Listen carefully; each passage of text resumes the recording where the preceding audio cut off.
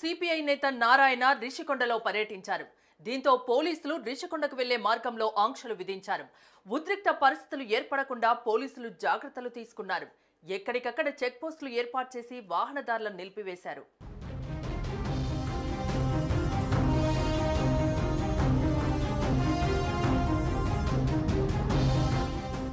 ప్రకృతిని పాడు చేసిన పాపం ప్రభుత్వానికి ఊరికే పోదంటూ మండిపడ్డారు సిపిఐ జాతీయ కార్యదర్శి నారాయణ.